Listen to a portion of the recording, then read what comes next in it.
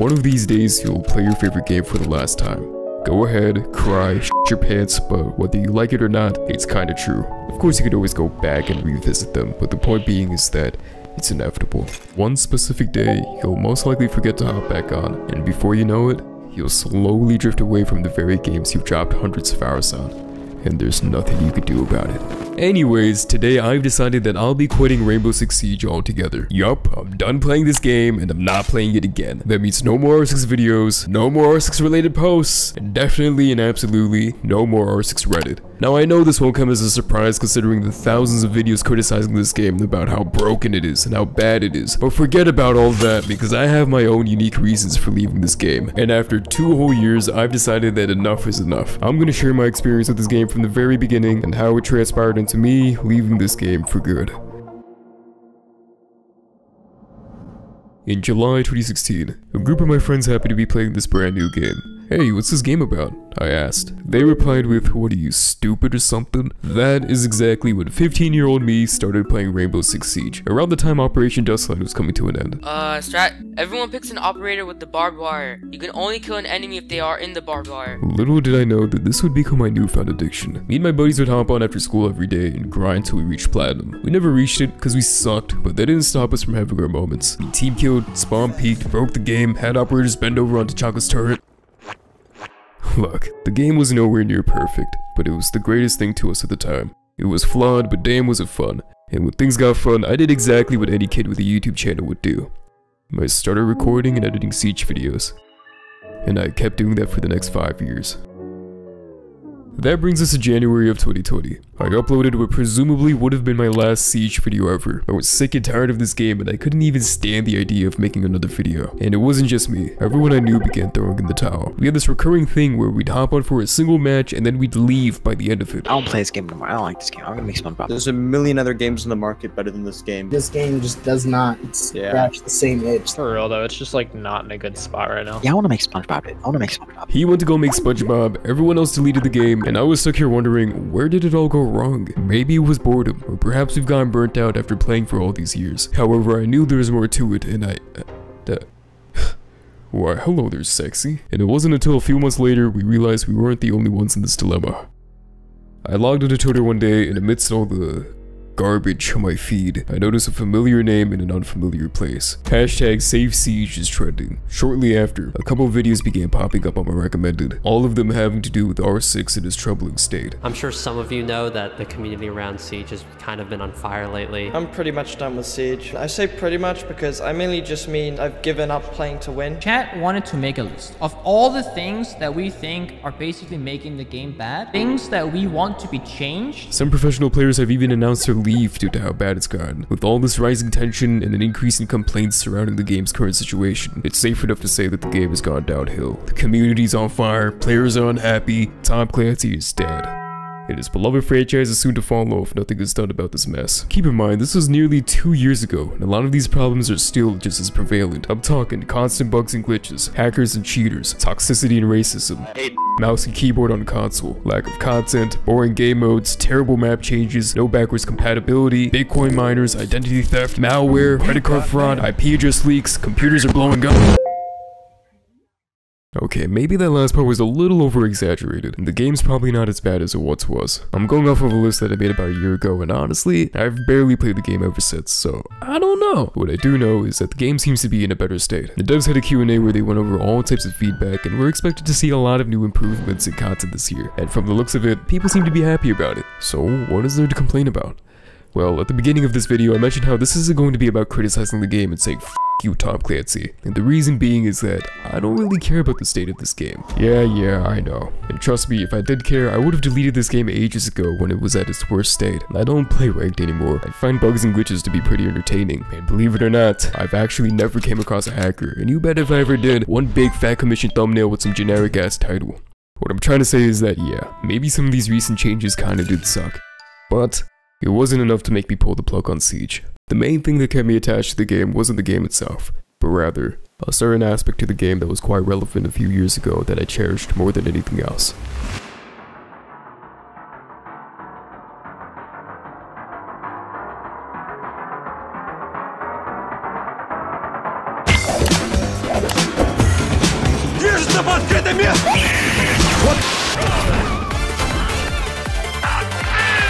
Siege time.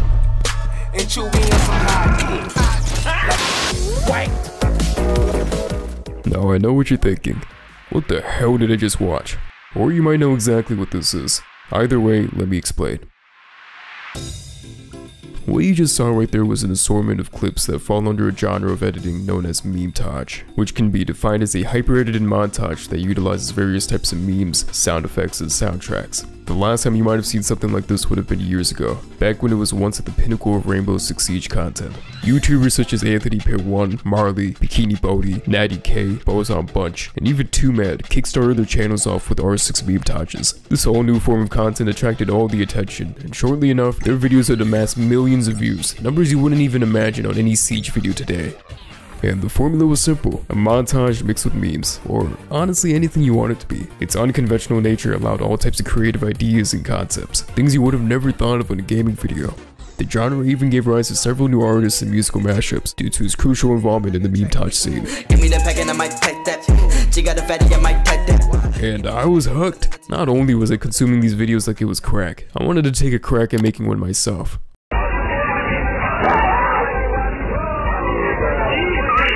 Yeah, so mine's turned out to be complete dog shit, but I still persisted at it. The process involved recording all types of clips, finding the perfect track, implementing some of my favorite memes, then either try to come up with something unique or imitate some of my favorite creators. There was a bit of a learning curve to get through, but it was damn well worth it now that I look back at it. On top of that, the community surrounding it made it even better, where I'd find several different creators who were truly passionate about this stuff, a lot of them who I'm still friends with to this day. At this point, it was clear to me that this was everything that I've ever wanted. Memetages just gave me a whole new reason to play the game, and while I did enjoy the game itself, I found myself falling in love with the creation of R6 content more than anything else, and I was having the time of my life. With this newfound passion, all that was left was to continue playing Siege and continue making content for it. Or so I thought. All good things eventually come to an end. So, when all of this started going downhill, we all saw it coming. A lot of the channels I watched either stopped uploading or moved on to other content, which I really can't blame them. Everyone has their own reasons. But I guess the main thing was that it just wasn't efficient enough to consistently upload for an audience that's losing its viewership. And for those like me who are still trying to grow and preserve the editing style, we were out of luck. Simply posting a clip on the R6 Reddit would be met with a ton of negative feedback, several comments asking to just let this format die out and that it's nearly unwatchable. Former Siege content creator PB and Slay, known for his incredible animations and editing, would constantly have his posts taken down despite none of them breaking any of the rules. Now, he no longer does any creative work for Siege, along with a lot of other talented creators just like him who decided to give up on this. It felt pointless to continue working on something that nobody was interested in anymore. The videos that you see up on my channel now was my attempt at trying a hybrid between memetages and funny moments, in hopes of it going somewhere, but all that did was just temporarily fill that empty void. By now, the game just wasn't the same game that I once enjoyed, back when I had a reason to play it. Playing it as it was now just went stale very quickly, hence why everyone I played with would end up quitting after one match, then eventually never to come back to it ever again. So, my only option at this point was to do exactly what anyone else would do in this situation, and that was to just move on.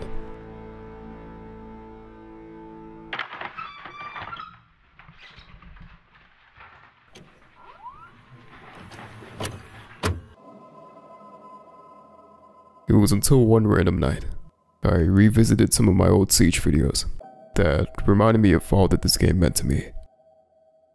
I started with the first video, where I tested out my new Elgato HD60, and I remember how excited I was to finally record gameplay, so I threw together a short little montage. Then the videos following that were a bunch of funny moments I made with an old friend group I had from high school. We'd play ranked almost every day, and in one of those videos, we found this hilarious Tachanka main with a Russian accent, who actually turned out to be a really cool guy we'd play with regularly. Don't ask me how I did it, but that video was one of my first ever memetages. And then there was another video, or rather an unlisted live stream of us playing Siege during the last few minutes of 2018. It was one emotional stream, as we looked back at all the good that's happened so far. But we were a little bit worried since things were going to be a whole lot more different after our graduation in a few more months. And that's exactly what happened. I haven't spoken to any of those guys ever since, and that happened to be one of our last times playing together. Now, I could go on and on about every last video, but the main point is that these videos and recordings were all that I had left of those days that I nearly forgot existed. A time in my life where I just hop on to play with friends and record whatever came out of it simply because we were having so much fun. But, as I've said at the start, one of these days you'll play your favorite game for the last time. And at the time of these recordings, I had no idea that these moments would turn out to be one of our last. And it was hard holding back those tears, looking back at a time that's impossible to bring back, regardless of whatever update or changes is made to the game. However, at the end of it all, I was rather glad to be able to look back at a whole collection of different Siege videos. They might have not meant anything to me back then, but they certainly do now, cause I could revisit some of my happiest and most creative moments through these videos, and I couldn't have been more grateful for a game that inspired me to create those memories, that could forever be looked back on. Rainbow Six Siege won't ever be the same as it once was, and neither can I expect it to after 6 whole years. But knowing that my time spent on it back then was one of the most fun I've ever had, makes me happy to have ended my experience with Siege on a good note.